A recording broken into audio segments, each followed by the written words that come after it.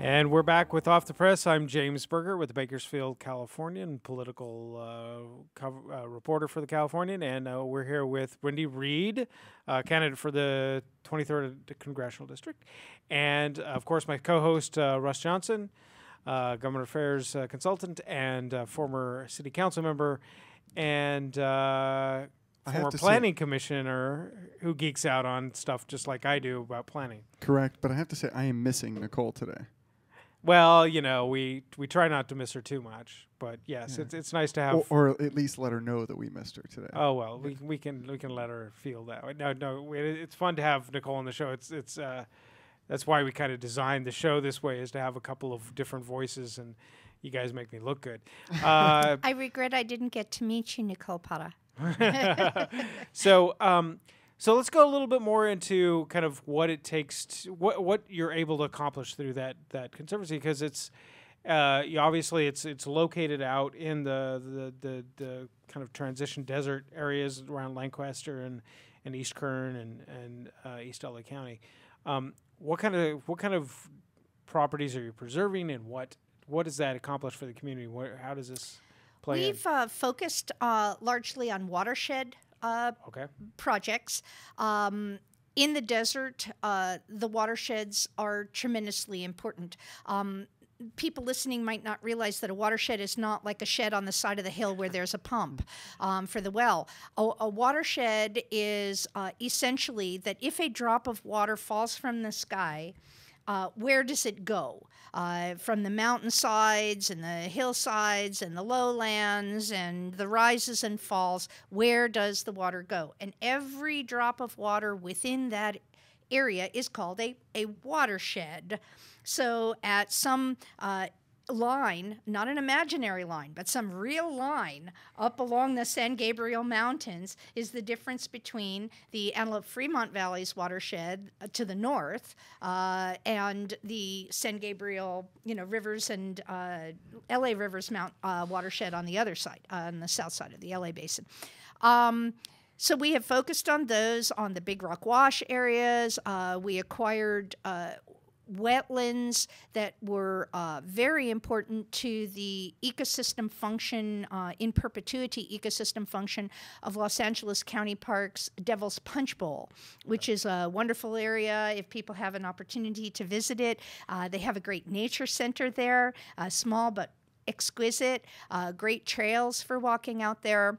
Um, we have also done restoration pro- projects and restoration consulting. So we consulted with the city of Lancaster and assisted the biologists to put together a restoration plan for one of their. Um, it's a man made uh, retention, but it is an expanded uh, natural. Uh, you know, basin that, that came off of the Amargosa Creek. Um, you know, we uh, liter- uh, recently just filed for a conceptual area preservation plan uh, to be considered, which would uh, establish um, preservation funding uh, potential for nine or 10 miles uh, worth of important uh, wetlands complex. And uh, this is under consideration by the Wildlife Conservation Board and the California State Department of Fish and Wildlife uh, for approval. And once approved, would then uh, position those lands for acquisition funding by any agency. I mean, it doesn't sure. need to be our conservancy. So we like to feel that we're small, but we're mighty. we've accomplished a lot. Uh, we started the conservancy because we were told that one of the main reasons land was not being preserved in these areas was because there was not a local conservancy. Uh, that is why the money was going to the Santa Monica Mountains Conservancy and essentially, you know, providing trails for Hugh Hefner and the girls next door, uh, rather than for the impacted communities in southern Kern and, uh, and northern LA County. So uh, we formed the conservancy, and uh, it had put uh, tremendous pressure on the actual implementation of mitigation. we have been able to influence the planning processes, both in Kern and in Los Angeles County, uh, for mitigation implementation for renewable energies, which uh, provided a, a, incredible opportunity for the regions. Uh, whether that ultimately is fulfilled or not you know, is anybody's guess. Uh, but but certainly the the pressure was uh, placed by virtue of our existence and okay. uh, and and sometimes you just have to ask the questions and uh, and allow you know the the civilization, the society, the government, the people, the community to answer those questions in the best way that we all can. Uh, but somebody has to be out there asking those questions, and I think that's that's been one of my ra- main roles in the community is asking the right questions and forcing people to to face the realities of of how they're going to address those questions. So it's obvious you're very involved in the community. You've got a heart for uh, trying to find solutions for folks. Otherwise, you wouldn't have started a Habitat Conservation Fund, which is, I'm still amazed you were able to do that. It, that usually takes a lot of time and a lot of money and a lot of uh, influence to get that done. So, congratulations. Um, but tell me why Congress? Why did you decide Congress is the place I want to go? What, what was it that drove you to that seat, and why to run against the House Majority Leader, such an entrenched incumbent? Well, I think the obvious answer to the last part of your question as to why the 23rd District is because I live in the 23rd District. and I would certainly like for the people in my district to have genuine representation. Uh, the beginning of your question, why did I run? Uh, well, you know, two elections ago, we opened up our primary ballot, and his was the only name in it. We had to write in Raul Garcia. Uh, he barely campaigned. Um, last election, we had Terry Phillips, who ran as an independent, and I thought Terry was a good guy. Uh, but I think that, um, you know, even if you're not a politician, you need to have a personality. You need to have something that people are going to give you exposure and want to meet you. And, uh, uh, you know, Terry is a very intellectual person. I'm an intellectual person, but I'm also this old musician, and I think I've got the personality. I just really enjoy talking with people. I know that comes as a great surprise to everybody that I love to talk with people, but I do. And so, um, I was going to uh, support whomever was running against McCarthy. I decided to re engage in the process and work on their campaign. And the more that I spoke with people across the 23rd, which goes all the way up into Tulare County, you know, I mean, Bakersfield likes to feel like, oh, it's all here. No, it's not. Okay. It's all the way out to Edwards and Ridgecrest and Boron and all the way out to Pine Mountain Club and Frazier Park and down into LA County and West Lancaster and Quartz Hill and Antelope Acres and the riding areas. And uh, it, it's huge up to Porterville and uh, Three Rivers and Whitney Portal, Kings Canyon. So um, it's a huge district. And the more that I spoke with people who were engaged in politics, there just was nobody running. And the more people I met, the more people said, "Well, you should run." I said, "Oh, don't be talking re- about it. Don't be ridiculous, right?" Um, but you've run, you've but run ultimately, before, right? Oh no, sir. Okay. No, I've been appointed. I, I have been appointed to a couple of things, that I've never run okay. not run for office. You know, I grew up in an age where, as a small child, under John F. Kennedy, we really were taught civic responsibility. We were taught that democracy is the job of the people who live within the democracy to take responsibility for. Um, but by the time that I was even a teenager, we were watching all of these people just being murdered on television. I mean, it was just terrible. Um, our leaders were killed or assassinated, right, murdered. Um, and then we even watched kids in demonstrations being murdered. Um, my mom uh, had uh, an apartment in Greenwich Village, and a block away from her, the total building exploded because people were building bombs. Okay, I grew up in a time when they talked about violent revolution. And the Beatles were like, You say you want a revolution, right? You know, but no.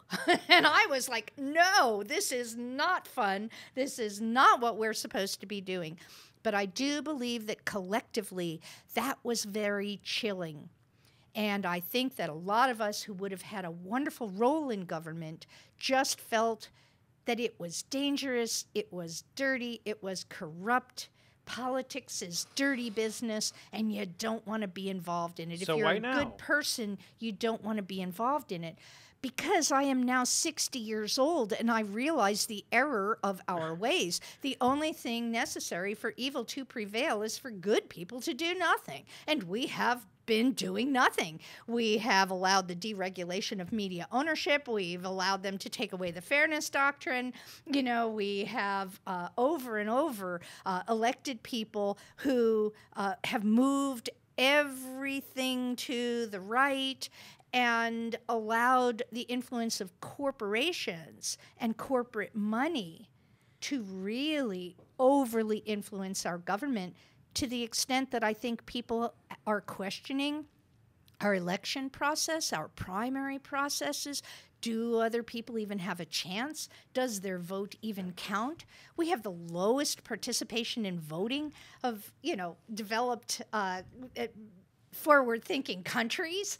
Um, we have serious problems because real people are no longer engaged in government. Real people are no longer represented in government. So when you rely on that much campaign funding, okay, people told me, "Oh, you need a campaign manager. That's $5,000 a month. Oh, you need a fundraiser. That's another $6,000 a month." I'm supposed to have a staff. I'm supposed to hire as employees to the tune of something like ten, twelve thousand dollars a month, plus an office, plus telephones.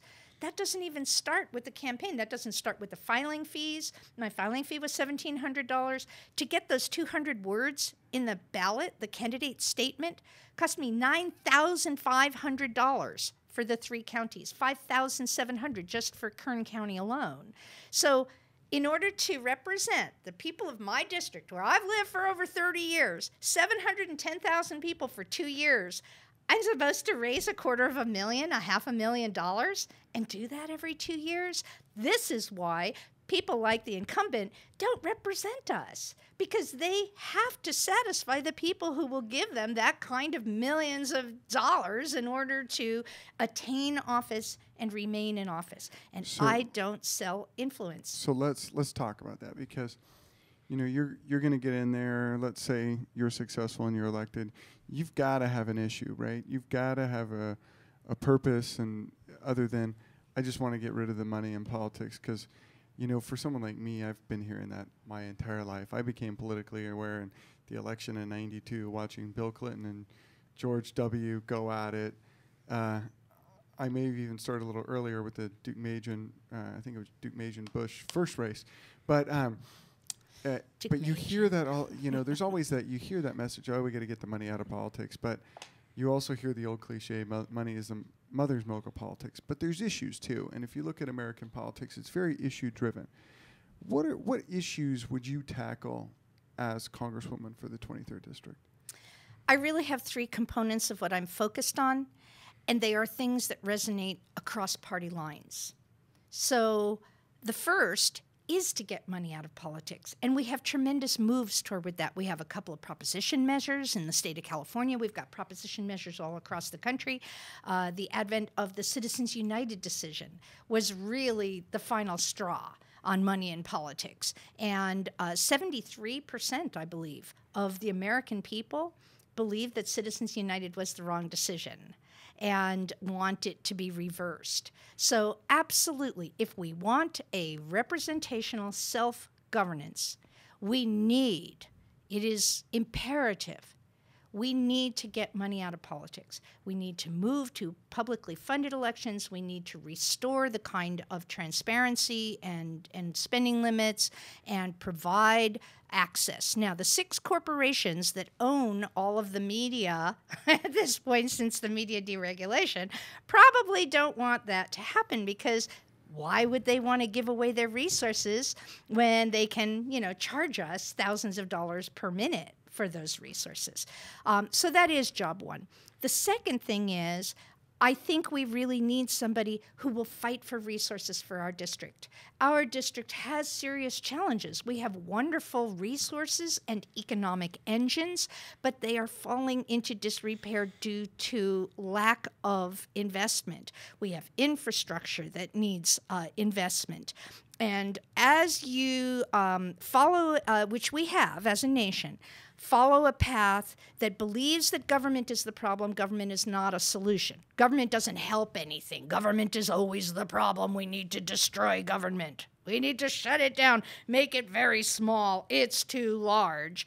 We want to defund all kinds of public services and things that government was is, actually established to do. Okay, the congressional seat I'm running for, Congress was established by the founding fathers in our Constitution to provide for the common defense and the welfare of the people. So those are definitely the concerns of the Congress, and we, all of our districts, send people to Congress. Those congressmen are supposed to be pursuing things that benefit the people of our district. And because they are so responsive to donors, they just don't do that. So I will go to Congress to actually fight for the resources for our district to be able to incentivize technological improvements, to face climate change. First, you have to acknowledge that climate change is real and that it should be a priority, that the drought is not some temporary thing that's going to somehow get better next year because climate always is changing. No, we need to have a systems approach to that. We need to upgrade our agriculture agricultural industries and, and incentivize that. Uh, from the federal mean- government, we what you need to upgrade our oil industry and incentivize that and avail ourselves of those profits so that we are not just going deeper and deeper down the rabbit hole of cutting off funding, closing sheriff stations, closing fire stations, eliminating public uh, education, eliminating social security so elders can just, you know, die in the gutter hungry like they used to. And we can go back to the good old days when America was great. You made a You comment. you, you made a comment about upgrading our agriculture system. What, what do you mean by that? Yeah, there are many things that are already to some extent underway, but would do wonderfully if uh, our do nothing Congress, under the leadership of the incumbent that I'm running against, our do nothing Congress has taken the perspective that these things just should not be helped. They need their budgets cut. They even cut the budgets for the veterans, for the Veterans Administration. Now they're going after their pensions.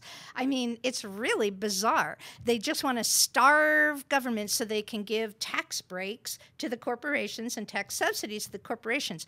We have, in it, more to the point of your question, we have farms in Tulare County that are currently recapturing their methane and using those methane uh, resources that are produced by feedlots and such from their operations in order to run their operations. I met a couple last night that's doing biofuels uh, to extend and expand our, our fuel life uh, of our oil resources. We have uh, wonderful oil resources, but we have refineries that are so old and inefficient uh, eh, that they're literally causing health problems to our people and our children. And why aren't we building new refineries? Because we can't meet the environmental regulations. No, we meet the environmental regulations elsewhere. We can incentivize that. What we need to be looking at are sustainable processes and sustainable wealth for our district over the long term. But in order to do that, you need genuine leadership. You need people who are willing to meet and, and collaborate and, uh, and form consensus with the brilliant minds of the people in the district and set a vision for what the future of our district should look like and take constructive goals that get you, you know, constructive uh, meet ob- objectives that get you toward those goals. That is leadership. And when you're all busy playing politics all the time and raising money for politicians all the time, that is not your work. The work of your field deputies, the work of your field offices is all focused around this whole political machine rather than doing the people's work. All right. And that is why I am running for Congress. And that is a great place to take the break we've got to take right now. Um, and uh, we will be right back with Off the Press and Wendy Reed, who has obviously got a lot of strong ideas about what the congressional district she's running for should do.